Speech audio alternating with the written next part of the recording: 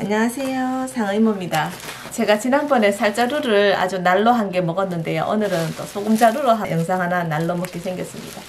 저희 구독자님이 소금자루와 살자루가 푸는 게 같냐고 물으시던데요 같은 것도 있고 다른 것도 있습니다 살자루는 아래 위로 두 가닥으로 엮여져 있기 때문에요 거의 풀면은 두 가닥으로 풀리거든요 근데 소금 자루는 두 가닥으로 된 것도 있고 한 가닥으로 된 것 있습니다 이렇게 두 가닥이든 한 가닥이든 똑같은 건 있습니다. 이 고속도로에서 오른편, 이 점선에서 오른편에서 보시는 분한테 오른편입니다. 이 오른편에서 풀어나가면 되거든요.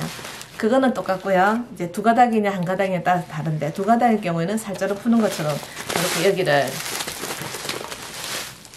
자 이쪽 끝에 여기가요. 잘 안 풀리도록 매듭이 지어져 있는 게 있고요. 가끔은 또 매듭이 동그랗게 이렇게 보이는 것도 있거든요.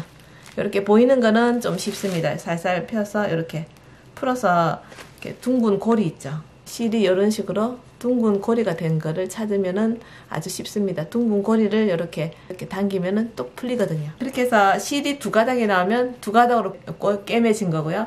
실이 한 가닥이 나오면 한 가닥으로 깨매진 겁니다. 그래서 그 원리는 아주 간단합니다. 두 가닥으로 된 거는 아래 위로 실을 당겨 풀면 되는데요. 한 가닥으로 된 거는 바로 이렇게 된 겁니다. 이건 지금 굵은 실로 보여드릴게요. 자, 이런 식으로 실 하나가 이렇게 자 이렇게 이렇게 바느질을 해 나간 겁니다. 이렇게 된게된 게 한 가닥으로 연결된 거거든요. 그럴 때는 요 실의 고리 있죠.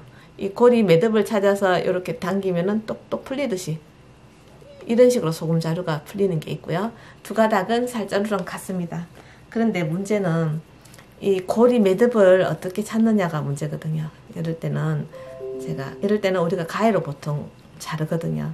근데 살자루는 가위로 잘라 자르면 이제 종이 조각이 들어가잖아요. 근데 소금 자루는 가위로 자르면은 나이론 끈 자루 이 조각들이 굉장히 많이 들어갑니다. 그렇기 때문에요. 소금 자루는 가능하면 이렇게 푸는 게 좋아요. 자 이렇게 해서 보통은 이렇게 되어 있습니다. 자, 이렇게 자른 다음에요.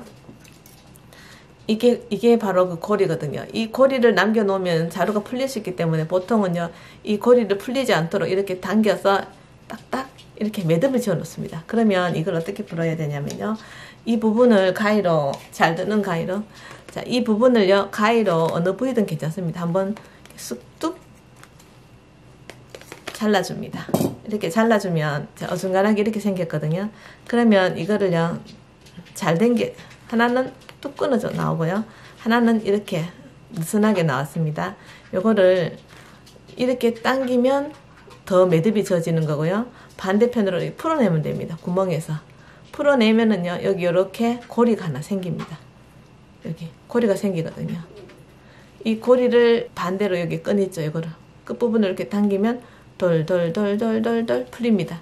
바로 소금자루 어, 또 이렇게 풀리거든요. 이게 한 가닥으로 된 소금자루는 이렇게 풀립니다. 두 가닥으로 된 거는 살자루랑 같이 양쪽을 잡고 뚜루룩 당기는 건데요. 제가 오늘 어, 푸는 이 소금자루는 두 가닥으로 된 겁니다. 소금자루가 회사마다 틀리기 때문에 제가 어, 근무할 때 사용하는 소금자루는 거의 한 가닥입니다. 그래서 뚜루룩 방금 푼 것처럼 풀고요. 저희 동네에서 산 요 소금자루는 두 가닥입니다. 고속도로에서 자 오른편입니다. 오른편에서 매듭이 져 있으면 잘 안 보이니까 한, 한번 싹둑 잘라줍니다. 이렇게 잘라준 다음에요.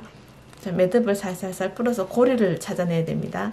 이 동그란 고리를 자, 찾아내서 당기면은 아, 저는 찾았습니다. 이렇게 요게 요게 고리입니다. 요게 동그란 자, 요게 동그란 고리입니다. 자, 이거를 고리를 당겨내지 말고요. 실을 당겨서 고리가 딱 당기니까 또 풀리네요. 그러면 어떻게 하냐면 양쪽에 가닥이 양쪽에 있습니다. 그럼 이렇게 당기면 쭈르륵 쭈르륵 아주 쉽게 아, 다 풀렸습니다. 그러면 이렇게 소금 자루가 아, 간단하게 풀리고요. 이 자, 이렇게 소금이 나왔습니다. 자, 소금 자루는 자 이렇게 풀면 됩니다. 소금 자루는 어, 한 가닥인 것도 있고 두 가닥인 것도 있고 상황에 따라서 푸는 방법이 조금 다르지만 고리를 찾아야 된다는 것 이렇게 매듭이 져져 있는 이 오른 아까 제가 고속도로 오른편이라고 했잖아요 여기를 이렇게 실을 거꾸로 이렇게 풀어내면은 이게 고리가 풀어지는 겁니다 그러면은 여기가 보다시피 이렇게 고리가 생기거든요. 자, 이거를 당겨내면은 똘똘 풀리고요. 반대로 실을 찾아서 고리를요. 자, 이렇게 돼 있는 부분은 이렇게 돼 있거든요. 좀 확대하면은. 그런데, 어, 이 부분을 당겨내야지 실이 풀리는데 거꾸로 이 부분을 당기면 오히려 더 매듭이 져서 절대 안 풀리는 게 되거든요. 그거 원리를 좀 기억하시고 풀어보시면은 근데 한 번만에 안 되면 두 번, 세 번, 한 번 인내심을 갖고 한번 해보세요. 그 원리만 알면 아주 쉽습니다. 그리고 이 부분을 아, 도저히 안 된다 싶을 때는 자르잖아요. 어느 부위를 자르든지 간에 이렇게 생기거든요.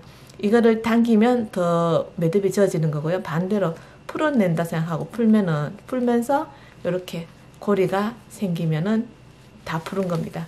왜냐면 이 고리를 반대로 당겨내면서 이렇게 풀어지는